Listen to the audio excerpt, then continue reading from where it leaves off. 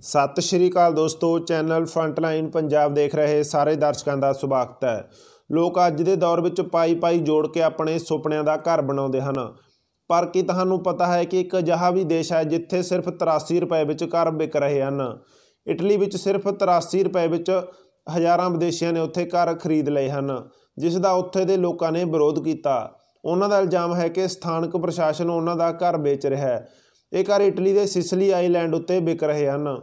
14ਵੀਂ ਸ਼ਤਾਬਦੀ ਵਿੱਚ ਵਸਿਆ ਇਹ ਪਿੰਡ ਹੁਣ ਅਰਬਨ ਜੰਗਲ ਵਿੱਚ ਤਬਦੀਲ ਹੋ ਚੁੱਕਿਆ ਹੈ, ਜਿੱਥੋਂ ਦੇ ਜ਼ਿਆਦਾਤਰ ਘਰ ਬੁਰੀ ਹਾਲਤ ਵਿੱਚ ਹਨ। ਇਸ ਵਜ੍ਹਾ ਤੋਂ ਇੱਥੋਂ ਪਿੰਡ ਦੇ ਲੋਕ ਪਿੰਡ ਛੱਡ ਕੇ ਸ਼ਹਿਰਾਂ ਵਿੱਚ ਵਸ ਗਏ ਹੈ ਅਤੇ ਇੱਥੋਂ ਦੇ ਮਕਾਨ ਖਾਲੀ ਰਹਿ ਗਏ। ਹੁਣ ਸਥਾਨਕ ਪ੍ਰਸ਼ਾਸਨ ਇਹਨਾਂ ਨੂੰ ਵੇਚ ਰਿਹਾ ਹੈ। ਮਕਾਨ ਵੇਚੇ ਜਾਣ ਨੂੰ ਲੈ ਕੇ ਉੱਥੋਂ ਦੇ ਲੋਕਾਂ ਦੇ ਵਿਰੋਧ ਉੱਤੇ ਸਿਸਲੀ ਦੇ ਮੇਅਰ ਨੇ ਕਿਹਾ ਕਿ ਉਹਨਾਂ ਨੇ ਇਸ ਪਿੰਡ ਦੀ ਆਬਾਦੀ ਵਧਾਉਣ ਬਾਰੇ ਸੋਚਿਆ ਹੈ। ਇਸ ਲਈ ਸਿਰਫ 83 ਰੁਪਏ ਵਿੱਚ ਘਰ ਵੇਚਣਾ ਸ਼ੁਰੂ ਕਰ ਦਿੱਤਾ। 100 ਰੁਪਏ ਤੋਂ ਵੀ ਘੱਟ ਪੈਸੇ ਵਿੱਚ ਘਰ ਵੇਚੇ ਜਾਣ ਦੀ ਵਜ੍ਹਾ ਨਾਲ ਇੱਥੇ ਘਰ ਖਰੀਦਣ ਵਾਲਿਆਂ ਦੀ ਗਿਣਤੀ ਵੱਧ ਗਈ। ਹਜ਼ਾਰਾਂ ਵਿਦੇਸ਼ੀ ਹੁਣ ਤੱਕ ਘਰ ਖਰੀਦ ਚੁੱਕੇ ਹਨ।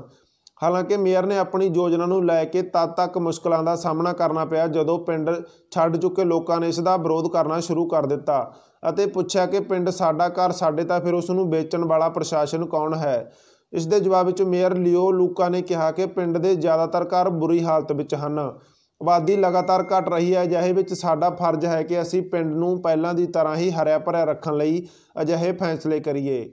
ਦੋਸਤੋ, ਜਲਦੀ ਮਿਲਦੇ ਹਾਂ ਇੱਕ ਨਵੀਂ ਖਬਰ ਦੇ ਨਾਲ, ਤਦ ਤੱਕ